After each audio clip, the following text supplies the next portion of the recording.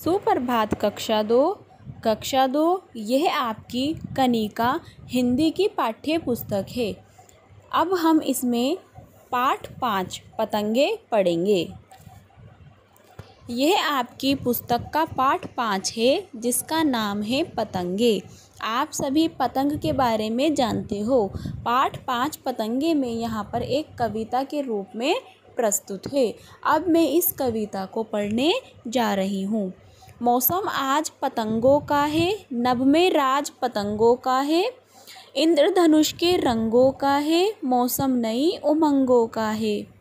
निकले सबले डोर पतंगे, सुंदर सी चौकोर पतंगे, उड़ा रहे कर शोर पतंगे, देखो चारों ओर पतंगे। उड़े पतंगे बस्ती बस्ती, कोई महँगी, कोई सस्ती, पर ना किसी में फूट परस्ती, उड़ा उड़ा सब लेते मस्ती। चली डोर पर बैठ पतंगे इठलाती सी ऐठ पतंगे, नभ में कर घुस बैठ पतंगे, करे परस पर बैठ पतंगे। हर टोली ले खड़ी पतंगे, कुछ छोटी, कुछ बड़ी पतंगे, आसमान में उड़ी पतंगे, पेंच लड़ाने बड़ी पतंगे।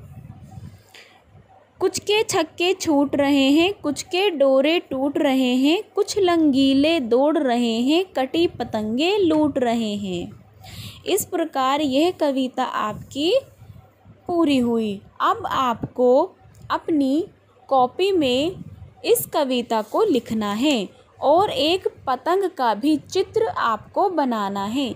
पतंग का चित्र बनाकर उसमें रंग भरने हैं और फिर आपको यह कविता इस प्रकार से पूरी लिखनी है। धन्यवाद।